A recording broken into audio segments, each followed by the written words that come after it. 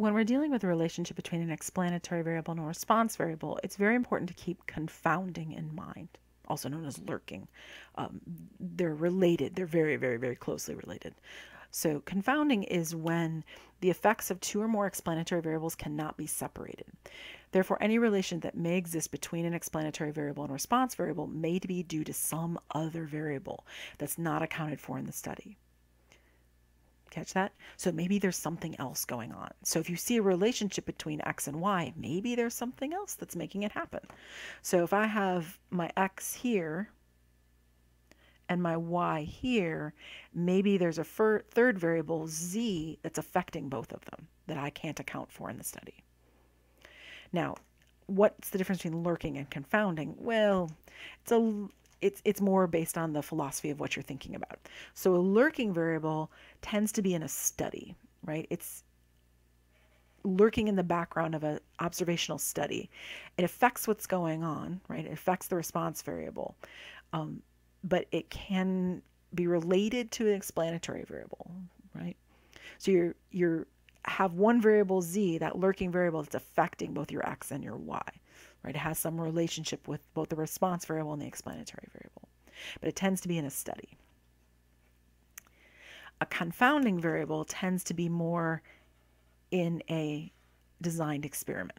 So they're basically the same thing, but it, their context is different. So a confounding variable is an explanatory variable that was considered in the study, but whose effect cannot be distinguished from a second explanatory variable. So let's think about our example of the previous page with the orangutans, for example. So we have our treatments, which are our X, the in vitro fertilization and the, um, what was the other one? Fertility drugs. And then over here, we're interested in the orangutan fertility. But of course, there's something else going on that I cannot separate out from this namely the conditions for the orangutans or um, how captivity is affecting them psychologically. Yes, orangutans have psychology, right? So their mood and etc. Right? So there's all sorts of lurking variables. Actually, they're confounding variables because it's an experiment. So there'll be confounding variables such as um, the psychological effects of captivity. Psychological, or I'll just say psychology of the orangutans that would affect all sorts of things. Um, the captivity of the orangutans affects both of these things, right? The psychology affects both of these things. It affects how effective the treatment can be. It affects whether they're going to take them or not. So maybe the orangutans are just going to throw them at the researchers and won't take them, right? Because if their psychology is affecting that, then there's no way to deal with that. Or their captivity, etc. You can think of all sorts of things that would affect both of these. That's a confounding variable. The researchers know it's there, but there's no real way to stop them being in captivity. So we could say the captivity of the orangutans would be affecting both of these things. You can't give them the fertility drugs unless you have them in captivity, but that might also affect their fertility. See? So that's a confounding variable because it's an experiment. A similar type thing can happen in a study. But a study, the researchers have no ability to, to control anything, so or manipulate anything. Whereas a confounding variable happens in a study or in an experiment where the researchers could have gotten rid of some of these confounding variables, but basically a confounding variable is one that cannot be gotten rid of even if the researchers wanted to, or if they didn't try to, and then it's still there, right? So basically, the effect is the same. It affects your ability to talk about whether the relationship between these two variables is meaningful or not. So if you see that relationship there, is it caused by, is X causing Y? Or is there actually something else lurking in the background that's really affecting, confounding what you see? All right, so let's see another example besides the orangutans. So, researchers wanted to identify the effects of music on intelligence. An elementary school was identified that held an enrichment program at, the after school daycare. The children at the school with a specialized music program outperformed children in a neighboring elementary school in cognitive abilities. Ah, and this is a real study in case you're interested. So is the orangutan one. Is the study described an observational study or an experiment? All right, well, that's let's see here. The researchers identified the researchers identified the children at the school with a specialized. Mm. So the researchers did not put the people into these programs. The students were already in these programs, right? And the students were already at these schools. So this is an observational study. There's no indication of researchers placing the students.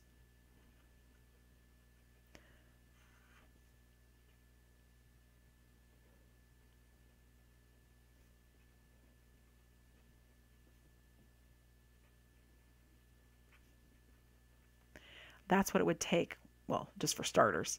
Um, experiments are actually very involved things, but just for the beginning part of it, you need to randomly place the students. You need to choose random students and you need to place them.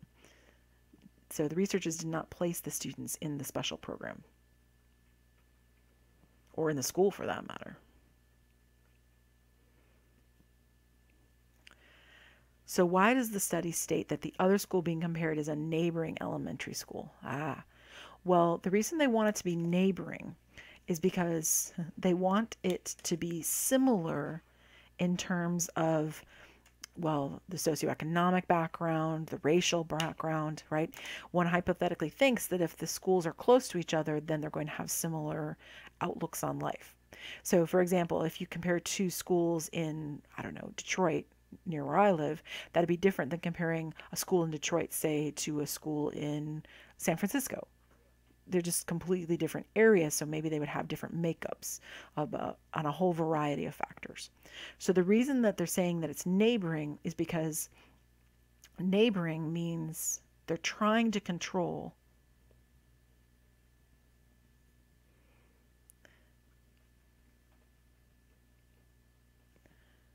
are trying to control some of the confounding variables by making them similar groups.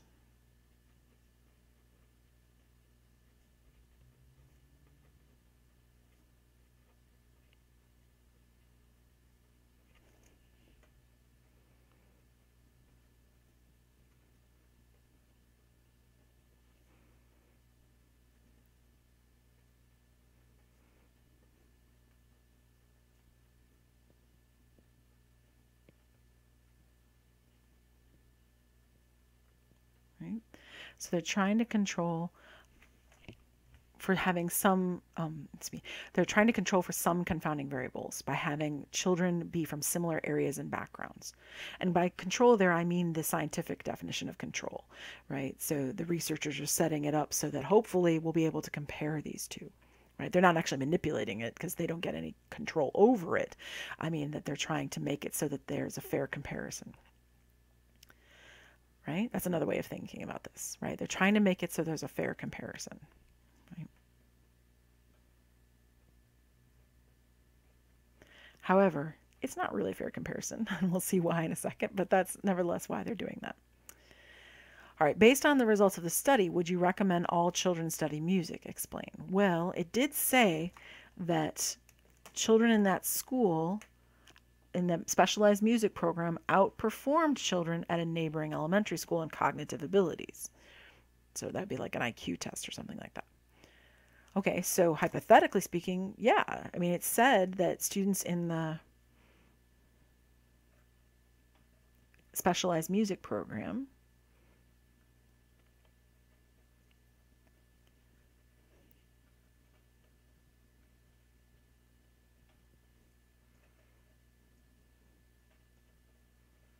outperformed. Um, similar children. However, if you're a statistician, you'll look at that and say, well, no, not necessarily. Right? So, based on the information, you would say yes. But a statistician would say no, not necessarily. It's not that the music program is bad necessarily, but see below. I'll just put a big arrow. right? Why? Well, because there's something going on here. So for your x variable, we have music, right? So the music program. Or not, right? So having it or not having it, that's x. And then y is that nebulous cognitive ability, which we have no idea how they measured that, but sure. Right? The ability to think. Well, are there things that could be affecting what's going on? Hmm? Are there things that might affect whether a parent places a student in a music program as well as that student's cognitive ability? Uh, sure, money, right? Money's a big one, right? So another variable, lurking variable. I should I should have called it lurking instead of z up above. I think I will. I think I'll go change it just to be fair. So we'll call it the lurking variable, or in this case, the confounding variable, because this one's confounding. Because that was an experiment. Whereas down here, we're talking about a study.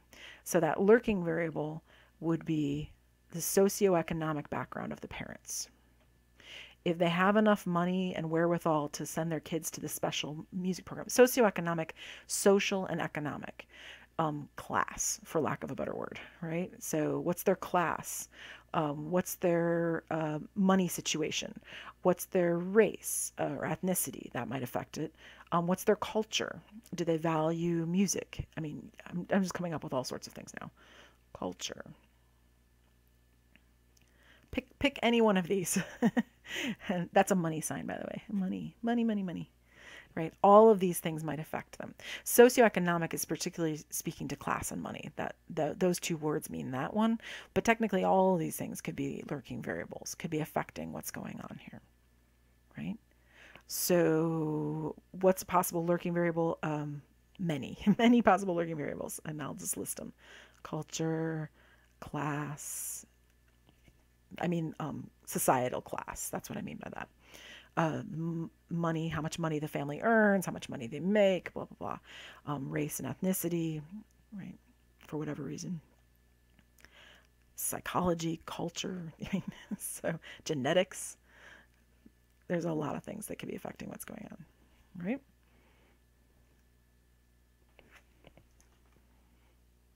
Which, by the way, means this is actually true. Not necessarily. You would not necessarily want to recommend your students for or your children to go into this program because there could be other things that's going on that makes it so that they have higher cognitive abilities. Maybe they had higher cognitive abilities to begin with, right? So not necessarily due to lurking variables. Let's put it that way.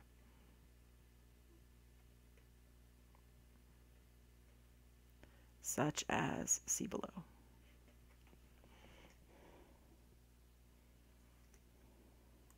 Which I guess means with that many lurking variables, we should put a big X through our original idea. So we thought it was going to be, yeah, sure, they're, they're performing better. Mm, but there could be a lot of reasons why that's happening. It might not necessarily be the music program. That said, I'm a fan of music, so I have no problem with letting children join music programs. But ne- necessarily to raise their cognitive ability, that might not be what actually is happening there. That's the point.